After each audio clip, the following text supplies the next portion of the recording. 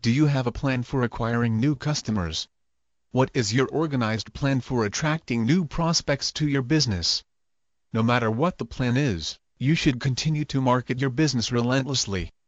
If you are currently only running newspaper ads and yellow pages ads to market your business, then you are close to being in trouble. Now I know that a huge percentage of your customers come from the fact that you may have a good business location. In the offline world, the mantra is location, location, location. But you do not want to rely on location alone, you have to be proactive in your approach so that you can attract as many customers than you can possibly handle. And this is a good thing. So what can you do to promote your business effectively? Well I have the answer for you. The first thing that you should do is to implement a wide variety of techniques. Incorporate postcards into your marketing mix and rent a list to target prospects in your area who would be great future customers.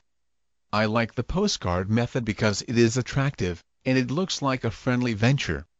Also, you do not have to open a postcard, so part of your job of getting the letter open is already done for you.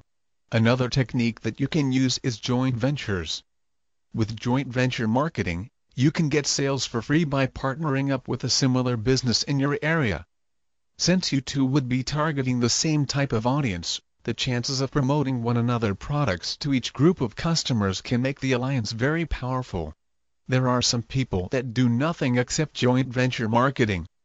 Their whole premise is based on the idea that since this technique is working, we might as well keep using it to promote our business.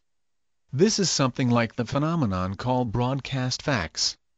In the past offline marketers used to use this technique with great success.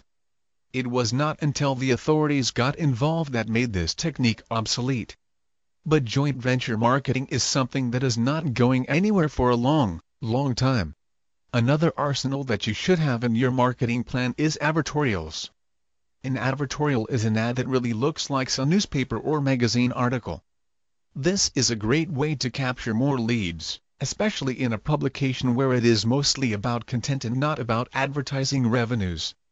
Nevertheless, you can use this technique to your advantage.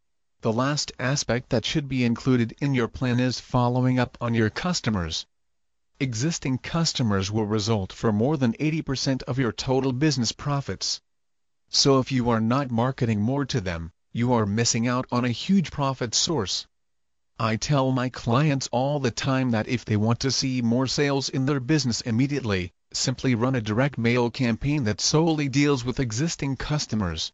You may have to do some work to reactivate a portion of your customers, but for the most part, the majority of your customers will respond. Keep these tips in mind when looking for more ways to earn more money in your business. Good luck with your marketing and advertising efforts.